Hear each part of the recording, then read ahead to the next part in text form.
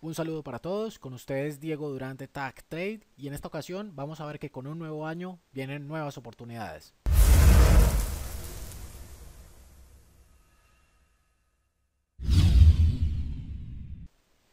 Como es habitual entonces empezamos con nuestro análisis fundamental, nuestro calendario económico, el análisis de las noticias más relevantes y que más impacto van a tener en esta semana para el mercado económico, el mercado Forex. Como tenemos ya filtrado nuestro calendario económico, podemos ver acá, día de hoy, lunes 15 de enero, es día festivo en Estados Unidos, día de Martin Luther King. Es un día, como es festivo en Estados Unidos, es un día bastante lento para los mercados en general, eh, poco movimiento, poca volatilidad, poco volumen. Sin embargo, el día de mañana y toda esta semana ya hemos filtrado nuestro calendario económico por las noticias de más alto impacto. El día de mañana, martes 16 de enero a las 10 y 30 de la mañana, tenemos eh, IPC desde la economía del Reino Unido. Tenemos también IPC para el día miércoles eh, desde la zona europea.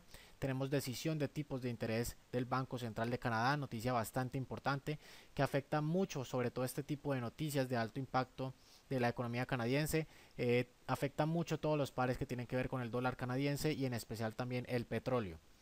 También tenemos para el día jueves eh, noticias de cambio de empleo desde Australia, tenemos para Estados Unidos índice manufacturero de la Fed de Filadelfia y tenemos también inventarios de petróleo del crudo. Y cerramos el día viernes, cerramos esta semana con ventas minoristas desde la economía del Reino Unido. Una semana eh, poco lenta el día de hoy por ser festivo en Estados Unidos como les venía diciendo. Sin embargo vamos a tener algunas noticias de alto impacto que nos pueden generar movimientos interesantes dentro del mercado. Vamos entonces ahora a nuestros gráficos como es habitual, nuestro análisis técnico. Para ello empezamos y tenemos cinco oportunidades bastante interesantes para esta semana. Empezamos con el Libra frente al dólar australiano. Lo vemos en un marco diario eh, un poco en rango en esta semana. Sin embargo está llegando una zona bastante importante de resistencia de techo. Podemos esperar en marco de tiempo de H1 una vela de confirmación eh, que cierre con buen volumen un buen cierre a la baja y podemos ingresar en una venta en corto hasta más o menos esta zona de los 1.71,70 aproximadamente. Una buena oportunidad del libra australiano, aprovechando un poco el rango en el que se encuentra. Tenemos libra neozelandés, una muy buena oportunidad. Vemos en marco de tiempo diario que el mercado está retesteando una nueva zona de soporte que anteriormente, como lo vemos acá en el pasado, actuó como una zona bastante importante de resistencia. Esa zona fue rota funcionó nuevamente como soporte en esta zona. El precio incrementó su valor bastante rápido y con bastante potencia. Nuevamente llegó a esa zona de soporte. Veíamos un poco de velas de indecisión, de cansancio. Eh, parecía que acá con estas velas bajistas hubiera roto esta zona de, soporte y se hubiera convertido en una zona de resistencia. Sin embargo, la última vela de, de, la semana anterior, del día viernes de la semana anterior, fue una vela bastante fuerte al alza que nos eh, puede permitir o, intuir que fue de pronto un falso rompimiento estas velas bajistas que tuvo anteriormente y podríamos esperar ahora en marco de tiempo de H4 una vela de confirmación alcista en esta zona o en H1 podríamos esperar también una vela de confirmación alcista para entrar en una buena compra en libra neozelandés.